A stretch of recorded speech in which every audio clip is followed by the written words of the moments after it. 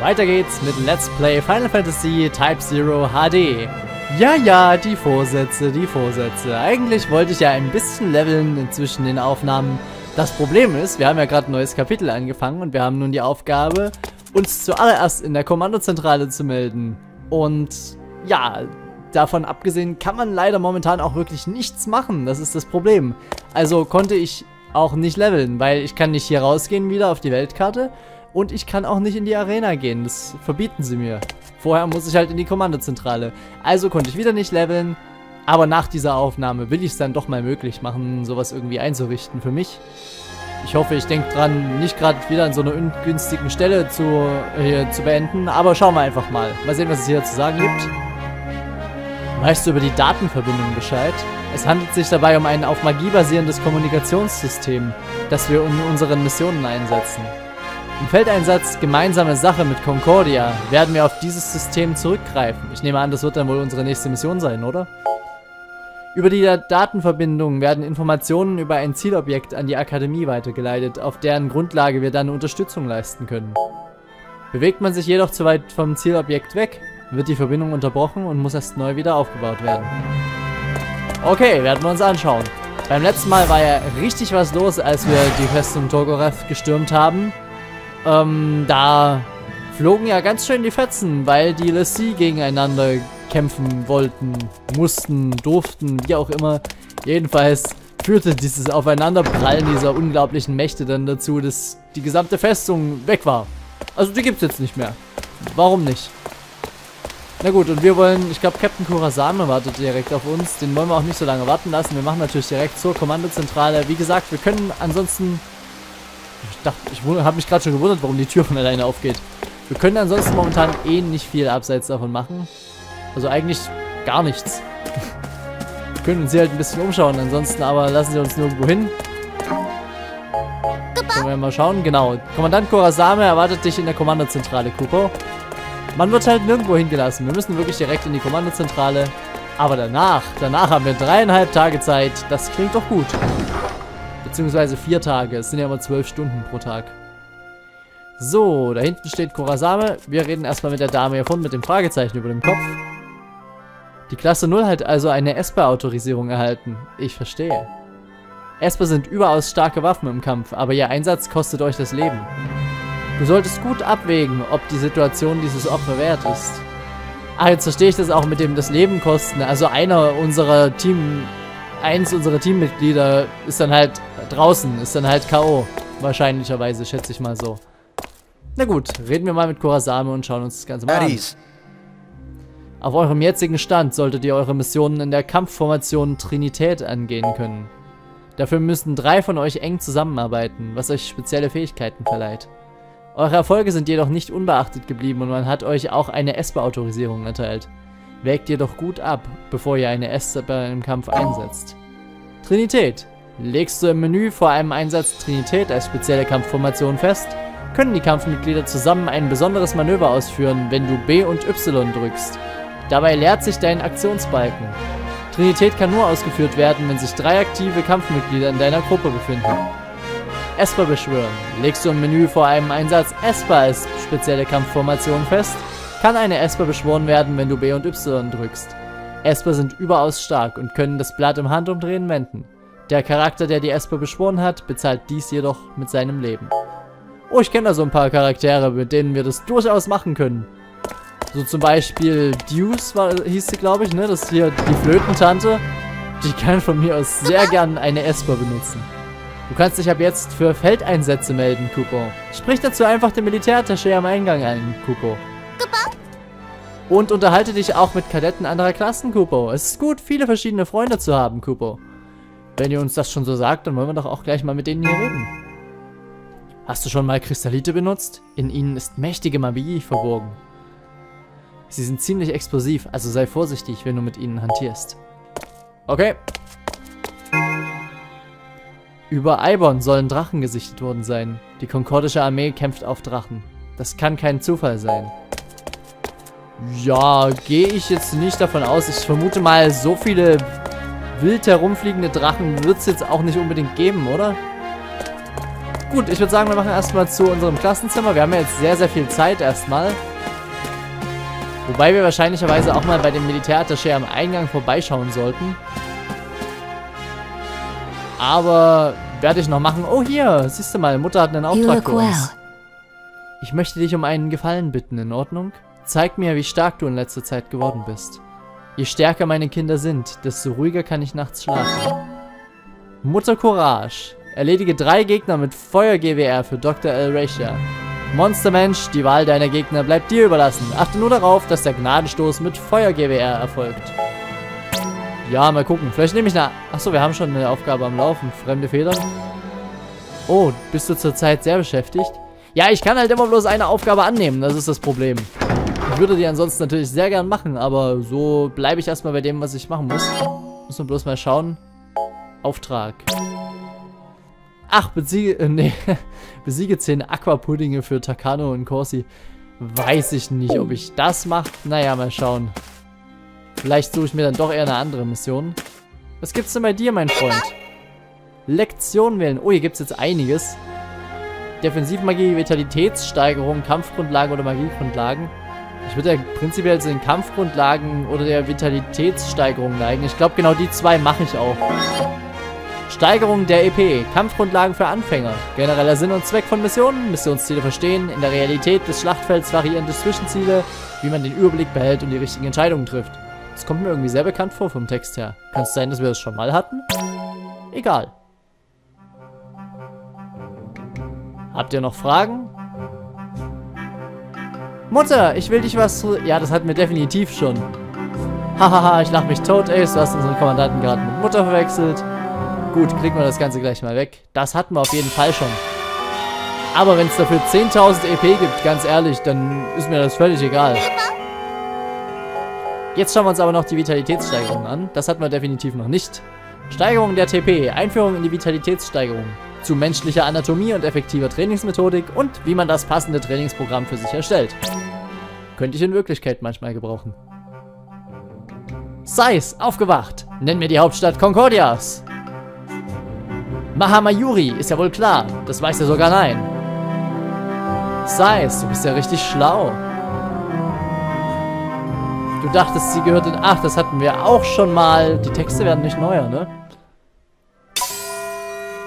Na gut, egal. Maximale TP um 20 gestiegen, das ist sehr schön. Dabei will ich es dann aber auch belassen. Wir wollen ja nicht zu viel Zeit hier nur mit Unterricht verschwenden. Ein schöner Satz, wenn man in der Schule ist. Na gut, schauen wir uns mal ein bisschen um, ob wir nicht vielleicht noch irgendwelche Gesprächspartner finden. Ansonsten stürzen wir uns dann mal ähm, in diese, wie hieß es, Feldzug? Weiß ich gar nicht mehr. Diese Zusatzmissionen eben rein, was sie uns da gerade angeboten haben. So, schauen wir mal, ob hier jemand ist. Oh, ich sehe gerade schon Nein da drüben rumstehen. Ist das Nein? Ich glaube schon, ne? So bucklig steht doch bloß der da. Natürlich. What? Sympathisch wie immer. Von diesen ganzen Büchern kriege ich Kopfschmerzen. Ich mag ihn total. In seiner schrulligen Art. That's a lot of books, hey? I mean, I couldn't read all these if I read for the rest of my life, yo. I read quickly. I could read them all if I live long enough. You must be quiet inside the Crystarium. By the crystal. You are cadets, you should know better. Hey, yo. That's going a little bit too far, don't you think, huh? I've no interest in speaking to the uncultured. What the hell did you just say? You want a piece of me, punk? Hey, yo! Nine! That's enough!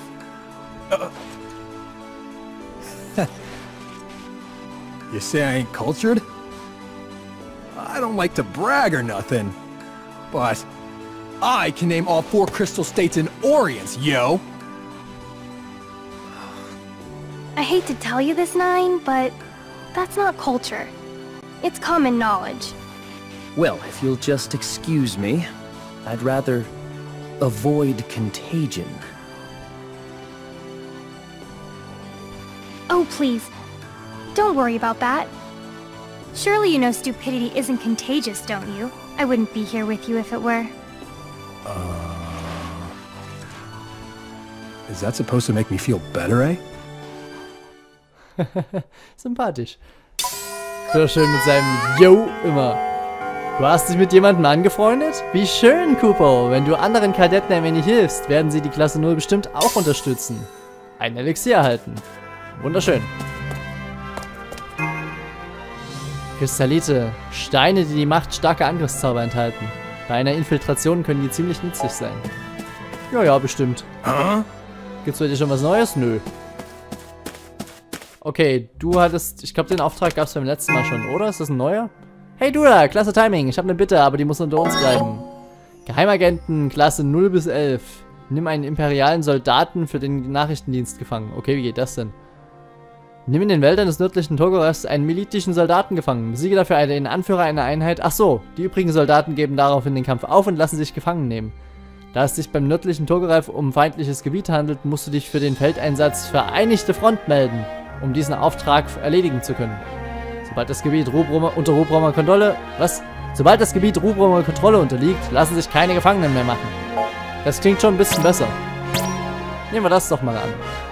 Ich wusste, ich kann mich auf die Klasse 0 verlassen. Verdeckte Jobs sind eure Spezialität. Das klingt auch wenigstens mal nach einem richtigen Job. Und du so? Hey, ich bin Tachibana aus der Klasse 2. Ich habe gehört, dass die Klasse 0 noch nicht einen einzigen Kadetten verloren hat. Beeindruckend. Interessiere ich mich für Klasse 2? Nicht so wirklich, aber schauen wir es uns mal an. Die Kadetten der Klasse 2 riskieren ständig ihr Leben an der Front. Daher haben wir die höchste Todesrate aller Klassen und bekommen auch die meisten Neulinge. Weiß ich nicht, ob das jetzt so eine Auszeichnung ist, mit der man hausieren gehen muss. Vielleicht hat das auch gar nichts damit zu tun, aber viele Kadetten meiner Klasse haben eine ziemlich gleichgültige Einstellung zu allem. Da wir ständig Kameraden verlieren, bleiben uns auch nicht viele Erinnerungen mit Freunden, an denen man sich erfreuen könnte. Aber für uns, die kämpfen müssen, ist es bestimmt ein großer Segen, dass wir uns nicht an die Verstorbenen erinnern können.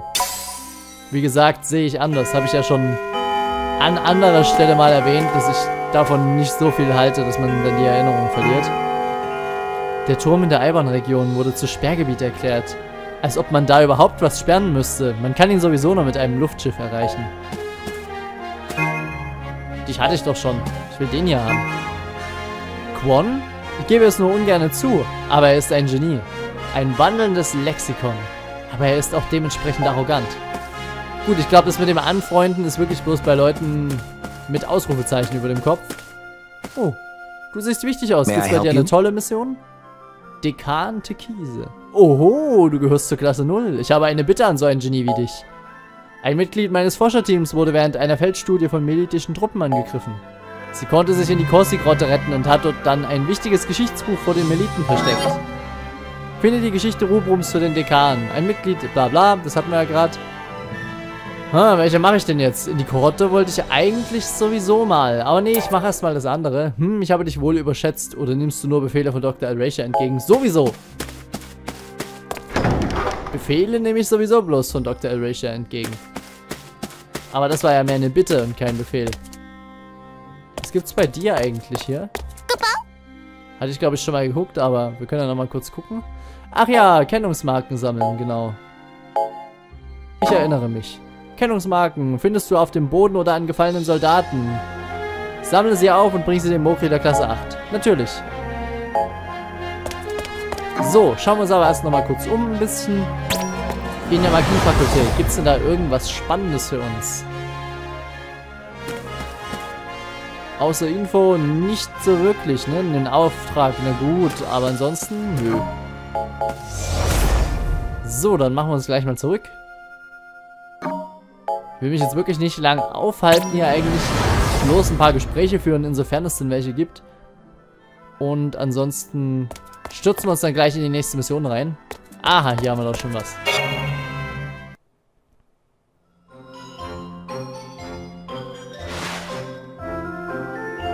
Can I help you?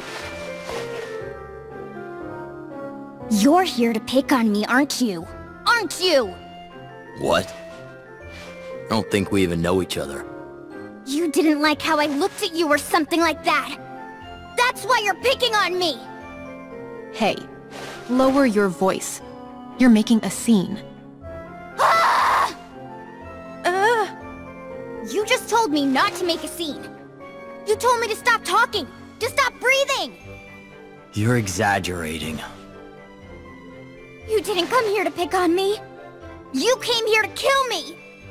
Well then, I'm gonna blow you to smithereens! What? Hey!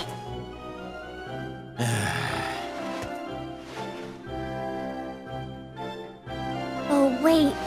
This one's not ready yet. Ah! I'll be back for you! Huh? What was that all about? Lots of characters here, I see. Ja, mir scheint, als ob es hier irgendwo einen Flügel für Geisteskranke gibt. Wer weiß, wer weiß. Äh, was auch immer das jetzt sollte, keine Ahnung. Aber wir haben ja noch mehr zu reden hier, sehe ich gerade.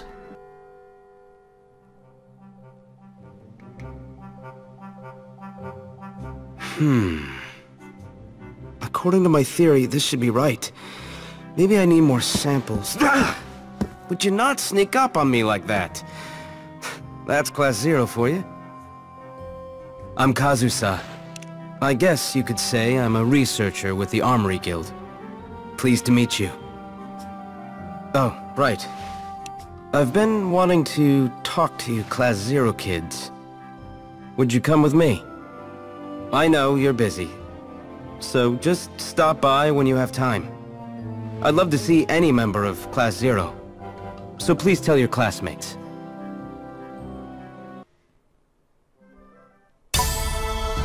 Okay. Was auch immer er jetzt genau von uns will, ich habe keine Ahnung. Auf jeden Fall ist er jetzt weg. Hm, nee, warte mal, bevor wir zur Hauptteil zurück machen, reden wir nochmal mit King und Seven. What is it? Es gibt immer jemanden, der stärker ist als wir. Darum dürfen wir nie aufhören, uns zu verbessern. Richtig so. What? Kunmi war eine LSC des zweiten Zirkels. Ihre Besonderheit lag also nicht in ihrer Kampfkraft. Gut zu wissen. Ich weiß nicht, wie eure Eintaktung in Zirkel denn funktioniert. Das müsst ihr mir bei Gelegenheit nochmal erklären. Darüber wurde ich bisher noch nicht aufgeklärt, muss ich zugeben.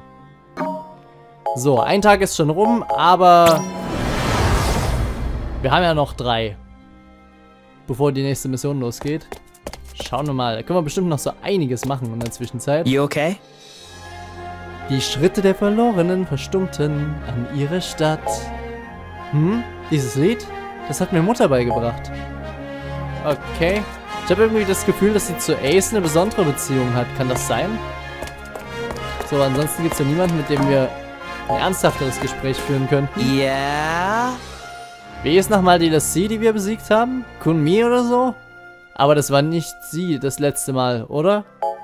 Nein. Nein, war sie nicht. Dachte ich im ersten Moment eigentlich auch, aber nee, war sie nicht. So, im Gemeinschaftsraum waren wir, dann gehen wir mal in die Sonne.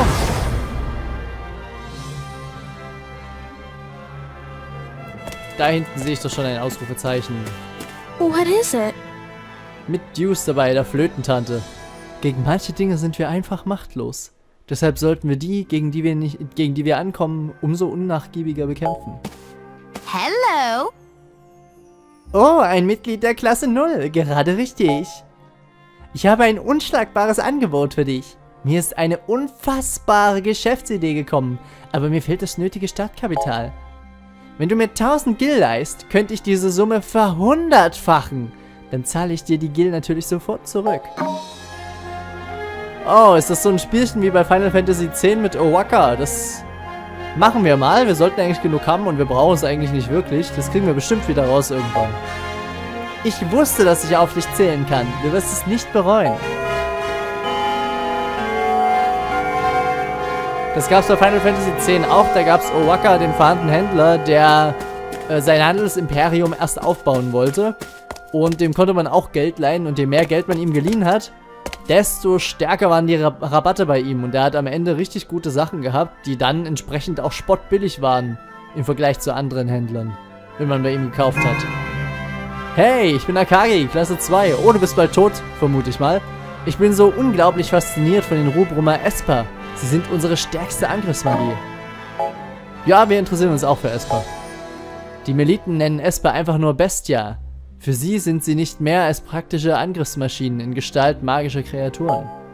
So etwas wie ihre Magitech Max eben. Wir Rubrummer haben ein ganz anderes Verständnis von Esper. Wer eine Esper beschwört, ist bereit, seine gesamte ihm zur Verfügung stehende Kraft zu erschöpfen und sein Schicksal in ihre Hände zu legen. Sie sind die Schutzgötter des Feuervogels. Die Militen respektieren ihre Magitech Max nicht. Sie können wohl kaum nachvollziehen, was die Esper uns bedeuten.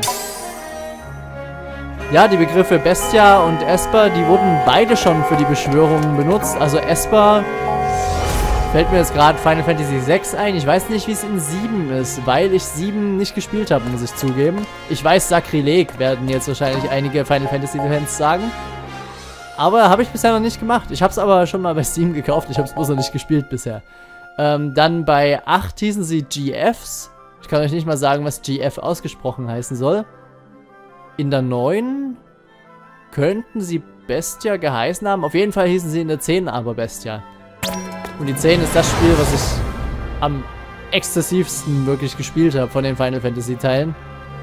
Deswegen sind da auch immer die meisten Parallelen, die mir so auffallen, einfallen, umfallen, wie auch immer.